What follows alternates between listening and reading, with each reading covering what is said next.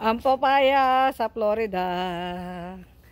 Kahit punggok, meron ng nagsisimula na ng, ayan o, ng kanyang, ay di makita ah, nagsisimula na ng kanyang, ayun o, kanyang bulaklak. So, parang sisimula na siya. Ito, bagong huli. Ayan, oh. Fresh na fresh. Kakahinayang, oh. Tignan mo naman, oh. Gumagalaw pa to kanina, eh. Oh, pulang-pula hasang, oh. Tignan mo.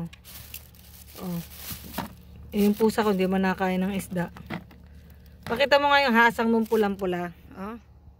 Ayan, oh, oh. Grabe. Sobra. Sobrang sariwa. Kaso, ang dami kasing ganito dito. Sayang, oh. Ang ganda pa mo din ng isda, oh. Tamo, kumikinang pa siya, oh. Ay, dito lang sa Florida to. Yung press na press na isda, babawang ko sa lupa. Ayan, yung puno natin ng papaya, yan ang technique. Ito. So, ito yung ating ano, ating, uh, what is this one? Itong, uh, uh, paso na binaong ko dyan. Yan o, may maliit na kale dyan. Ito rin. Pag hiniwa ko tong isda, pwede ko yung ilagay dito. Yan o, sa butas na yan. Tapos ibabalik nyo lang dyan. So, this one kasi, yung kale ko, bagong tanim pa lang to. At meron naman tong tayo ng kabayo. Yan siya. At ngayon eh, medyo palamig na. So, ang ginagawa ko dito sa papaya para ma mas mabilis ang bunga is babaw natin tong isda. No? Ayan. Ugutin lang natin to. Teka lang. Andali ha. Mabigat eh. So, ito yung paso. Ugutin natin, no? Yeah. Okay, pakita natin yung butas sa ilalim. Alright. Ito na yung butas niya. O, may bulati na agad. Pag may bulati, mas maganda kasi ibig sabihin yan, ayun yung bulati o. Ibig sabihin yan, buhay na buhay. Gustong gusto ng ano yan, halaman. Yung bulat, mga earthworms. Ayun na siya. O, gumalaw pa yung bulati. Yun o. Yan yung isda natin. Baon natin dyan. Tapos balik lang natin itong ito, yung paso natin, balik natin. Ito, wala kasi magbibideo, babalik natin yung paso. Ayan. Ayan na siya. So, yun na yung paso. Yun na. Ayan na yung paso natin na pinagbaon na natin ng isda. Sa ganyang paraan, nakita nyo yung side, itatak-in nyo na lang ulit yan. Yung side nyan, tak-in nyo ulit ganyan. Oh. Para sa ganyang side, hindi siya maamoy ng mga daga, ng mga ibang mga mga pwedeng kumalkal sa lupa. Kasi kapag medyo mababaw at wala kayong panakip, nakakalkal pa siya ng mga daga. Pero pag ganito, hindi guys, no? Tulad din siya ng mga pasuko dito sa gilid. Ayan. Pag inangat nyo to, ayan, ito medyo ma mabilis maiangat. Yung isa kasi mabigat eh. Ayun, mabigat pa rin. Pero ito, yung mga ilalim nito guys, may mga isda yan. Ito mabilis to iangat. Ito, try natin ha. Ito mabilis to dahil maliit lang. So, ang tabi nito, ayan siya oh Ewan ko kung natunaw na yung isda. Ay, tunaw na. Wala na yung isda guys. Tunaw na. Ayan siya. So, mabilis siyang mabulok.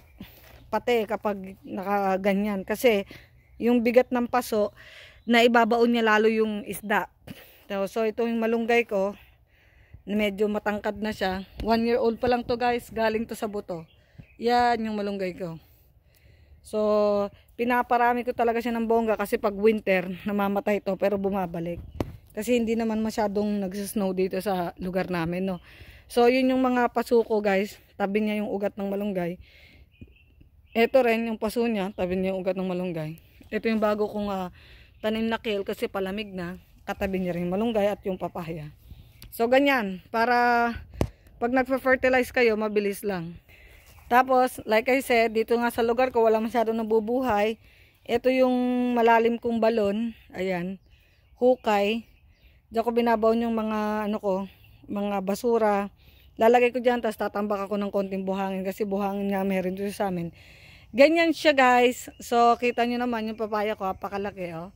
O, diba? Ang dami nating halaman dito ngayon. Kasi, um, uh, fall season na medyo harvest na tayo mga paghintayin lang natin matuyo tong mga ano kamote pag natuyo na siya ng bonggang bongga kasi hanggang December pwede pa to eh ayan may bulaklak na siya ang sign na meron ng uh, ano yan bunga kapag namumulaklak na yung kamote niya ibig sabihin matured na siya sa ilalim meron na yung sureball na bunga so yung iba naman technique ko para yan dito buwan ng damo Nakita niyo itong mga pots ko, ayan o. Oh.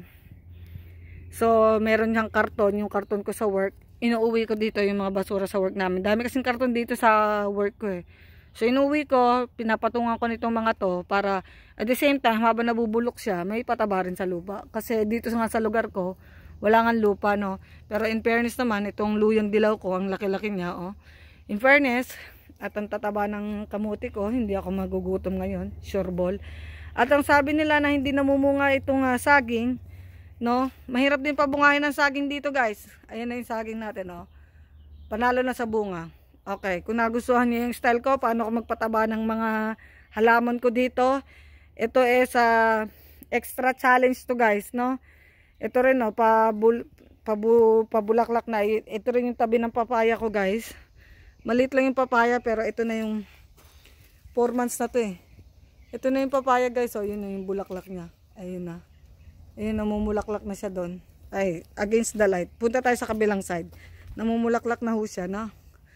pag namumulaklak, pag medyo malaki na yung papaya nyo, ang ginagawa ko, so, maliit lang tong papaya, andyan din yung mga isda. Sa tabi ng ugat niya, andyan yung mga isda. Never pa tong nakalkal ng kahit sinong mga halimaw sa banga. Kasi nga, eh, nakabaon siya. Hindi siya naaamoy ng mga daga. Kaya hindi siya mahukay. At saka mabigat yung paso dahil nga meron ding halaman na tanim. Ganyan ang gawin nyo guys, no? Kasi yung iba, pag binaon nyo lang, maraming beses nakakalkal talaga siya ng mga daga. So much! Yo, yo, yo!